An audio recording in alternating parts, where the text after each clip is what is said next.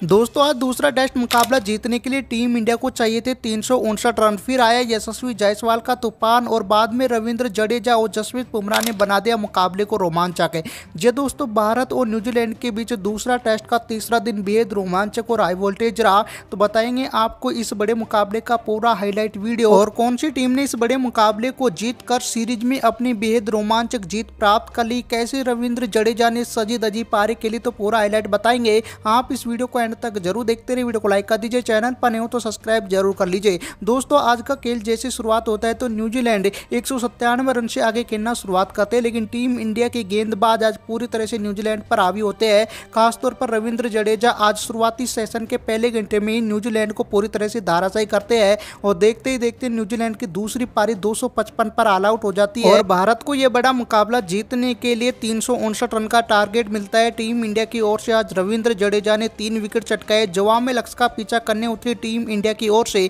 यशस्वी जायसवाल और रोहित शर्मा आए और यशस्वी जायसवाल ने दूसरी गेंद पर छक्के के साथ खुद की और टीम इंडिया की शुरुआत कर दी। तो वही अगली गेंद पर एक और शानदार चौका लगा दिया। टीम इंडिया ने पहले ओवर में दस रन बना लिए थे, लेकिन तीसरे ओवर में कप्तान रोहित शर्मा मिशेल सेंटनर की गेंद पर आउट हो जाते हैं और टीम इंडिया को पहला और बड़ा झटका लग चुका होता है। उसके बाद में बल्लेबाजी करने आए सुबन गिल आए और इन दोनों ने ताबड़तोड़ गति से रन बनाए। देखते देखते इन दोनों के बीच पचास रन की साझेदारी हो गई थी, लेकिन उसके बाद में यशस्वी जायसवाल का तूफ़ान देखने को मिला, जहाँ इन्होंने छक्के चौकों की बारिश करते हुए मैच इकतालीस गेंदों पर अपना अर्शतक पूरा कर लिया। और यशस्वी जायसवाल की पारी तो काफ़ी शानदार चल रही थी, लेकिन दूसरे छोर पर शुभन गिल भी पवेलियन में जा चुके होते हो टीम इंडिया को एक और बड़ा झटका लग गया था। उसके बाद में विराट कोहली बल्लेबाजी करने आए। विराट कोहली एक छोर पर काफ़ी शानदार बल्लेबाजी करते हुए नज़र आए, लेकिन इस बीच यशस्वी जायसवाल भी आउट होकर पवेलियन में चले गए थे। उसके बाद में बल्लेबाजी करने आए ऋषभ पंत, आते ही पूरी तरह से लड़खड़ा गए और रन आउट होकर पवेलियन में जा चुके होते और टीम इंडिया को सबसे बड़ा झटका लग गया था,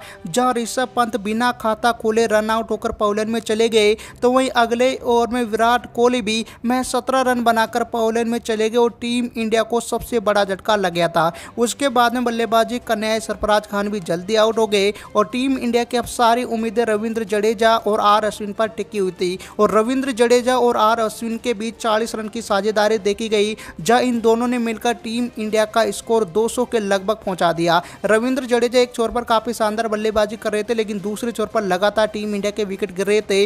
देखते ही देखते टीम इंडिया की पारी पूरी तरह से लड़खड़ा चुकी थी, और न्यूजीलैंड को यह बड़ा मुकाबला जीतने के लिए सिर्फ़ दो विकेट चाहिए होते हैं। उसके बाद में रविंद्र जडेजा काफ़ी शानदार बल्लेबाजी करते हैं, और रविंद्र जडेजा का साथ आकाशदीप और जसवीत बुमराह निभाते हैं, लेकिन आखिरकार ये दोनों बल्लेबाज भी आउट हो जाते हैं, और टीम इंडिया को दूसरे टेस्ट मुकाबले में हार का सामना करना पड़ता है। टीम इंडिया 113 रन से दूसरा टेस्ट मुकाबला हार जाती है और न्यूजीलैंड ने यह सीरीज़ अपने नाम करते हुए एक नया रिकॉर्ड बना लिया, जहाँ टीम इंडिया सीरीज़ में दो ज़ीरो से पिछड़ चुका है। ऐसे में टीम इंडिया अब आखिरी टेस्ट मुकाबला और न्यूजीलैंड के साथ खेलेगी और टीम इंडिया को हर हाल में जीतना होगा, क्योंकि टीम इंडिया को डब्ल्यू फाइनल में पहुँचना है तो यह बड़ा मुकाबला जीतना होगा। दोस्तों, वीडियो पसंद आया तो वीडियो को लाइक और चैनल को ज़रूर सब्सक्राइब करें।